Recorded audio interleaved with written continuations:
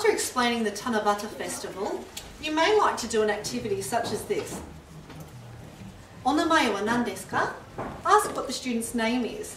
Teach them boku no namae wa whatever desu, or for girls, watashi no namae wa whatever it is desu. And after doing the wish, we've decided to set the task of being what would you like to become?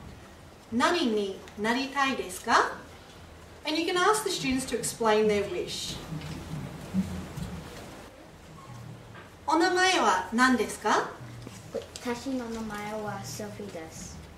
何になりたいですか I wish to become a good driver when I'm older and wish for lovely children. Oh, great. that's a very good wish. Very mature. This is a grade three class.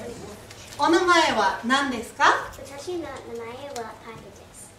何になりたいですか I wish to be a marine biologist. A marine biologist. That's what wow, my- that's a lovely wish. Emiko sensei, can you choose one otoko noko and one onna noko?